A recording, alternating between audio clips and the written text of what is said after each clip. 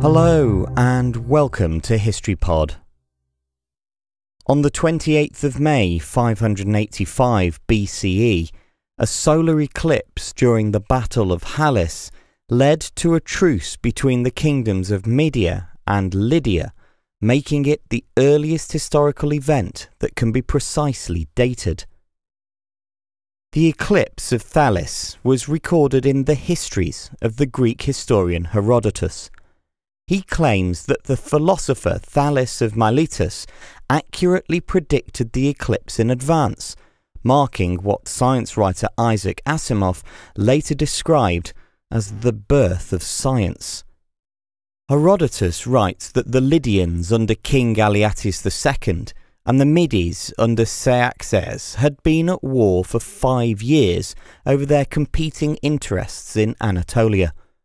The spark for the war had been a desire for revenge over the killing of one of Cyaxares' sons by nomadic hunters, who was subsequently given protection by the Lydians.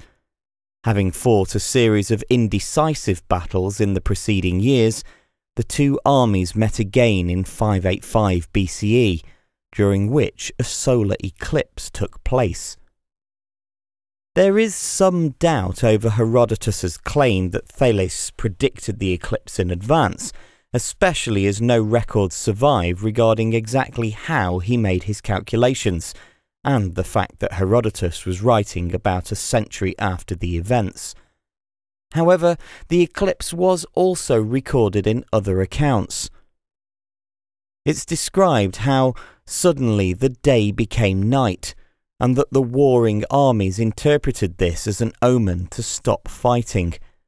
The peace was sealed by Alyattes' daughter marrying one of Cyaxares' surviving sons.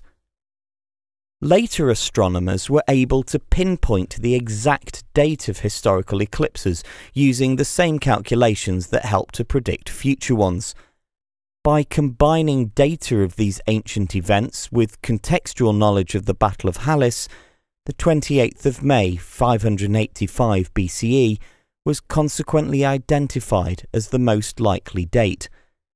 This makes the day of the battle a cardinal date, meaning that it provides a waypoint from which numerous other dates in the ancient world can be calculated. If you enjoy HistoryPod, please consider supporting it. You can find details at patreon.com forward slash historypod. Alternatively, please leave a rating or a review on iTunes, Stitcher, or Google Play.